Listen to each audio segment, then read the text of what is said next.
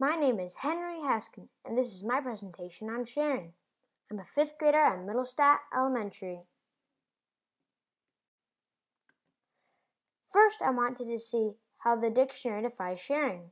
The verb to share means divide, to parcel, or to participate in or use in common with others. For the history of sharing, I turned to two places the Bible and an old Chinese proverb. First, in the New Testament, in Luke chapter 6, verse 38 says, For if you give, you will get. Your gift will return in full and overflowing measure. To me, this means that if you give to the less fortunate, your gift back will not be physical, but be a feeling of joy. The joy comes from seeing a little boy or girl's joy filled eyes, seeing the gift that you have just given them. Next, the Chinese proverb says, Give a man a fish, and you feed him for a day. Teach a man to fish, and you feed him for a lifetime. For me, this means that if you do something for a person now, they won't learn how to do it for themselves in the future. Ultimately, a person will be better off if they learn the skills so they can do more things for themselves in the future. Traditional sharing in my daily life is lending pencils to my schoolmates and toys with my friends, but it is even more important to give to those who are in hard times or those who can't help themselves. These are people who have fallen on hard times, a loss of job, a natural disaster, an injury, or death of a family member. Now, these are people who cannot help themselves, the handicapped, children, ill people, and the elderly.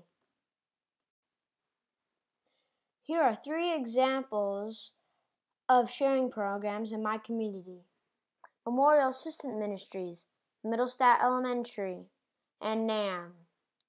All of these three programs have a common goal to help people in need. Importance of sharing skills.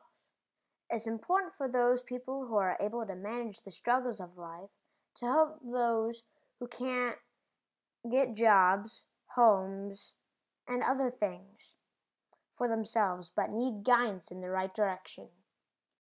I'm Henry Haskin, and this is uh, Peggy Burden. And I'm going to be asking her 10 questions about what about her charity. Okay. Okay, so why do you get involved with the Christmas donation? Well, part of our faith is to give back at Christmas time, and there's always so many people in our community that don't have a lot. So, myself as an individual and my job here at the church that I work at is to get other people involved to giving back because at Christmas time people always want to do something for somebody else. Okay? Were they enthusiastic? Very enthusiastic. A lot of times it's families that come to me that have little children and they want their children to be involved. They want their children to go shopping, to be able to pick out toys or things to fit yeah. in a stocking for, for children. And so they are so excited, and I can see that excitement when they bring the items back for me because everything comes back usually here to the church and then I deliver them to the ministries. Mm-hmm. And they get so excited when they bring back their bags and their goodies of things that they bought. Yeah. Mm-hmm. Um, Tell me about the people and the families that you donate to. We have a lot of different people that we donate to. We partner with the Harris County Sheriff's Department Homeless Outreach Team that's right here in our area, and they already know homeless people that are living right here in our own community. They're, some of them are living in their cars and they're parked behind HEB or McDonald's, and that's where they spend the night. Many times they're in the woods. And so the, the sheriff's department helps me deliver a lot of those things because some of our donations were also coats and new socks and warm mittens.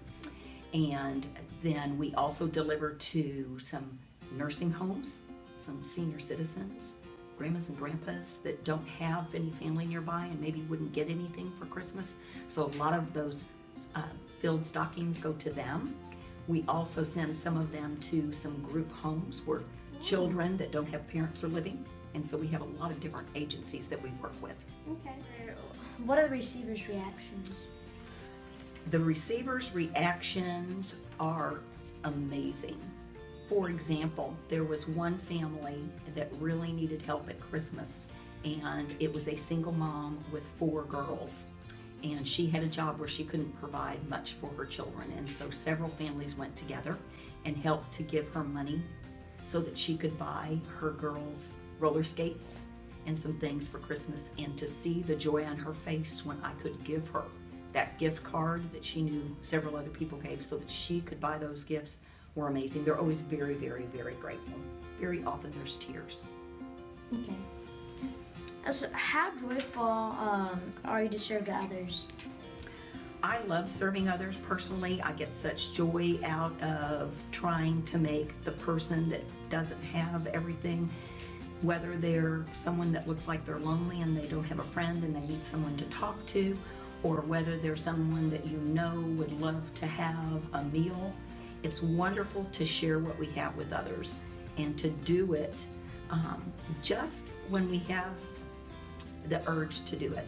And not just at Christmas and not just at certain times, but very often our inner mind will tell us buy that person a meal or give that person a dollar or share your snack with someone else. And when you share, you just have a feeling of knowing that you have made another person happy. Yeah.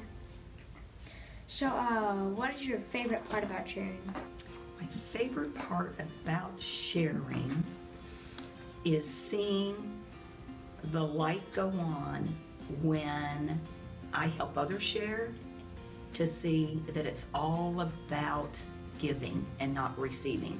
Mm-hmm. And very often it takes us a long time in our lives till we get older to realize that the giving part is the most joyful. Yeah. Of course, we all like to give gifts, but when we can give a gift to somebody that truly needs something, whether it's a kind word or whether it's a stocking full of toiletries or candy or small toys, it's a wonderful feeling knowing that you were able to help somebody and you get the joy just from helping, knowing that I'm not going to get anything back. Thanks. You're welcome, and thank you for letting me share with you.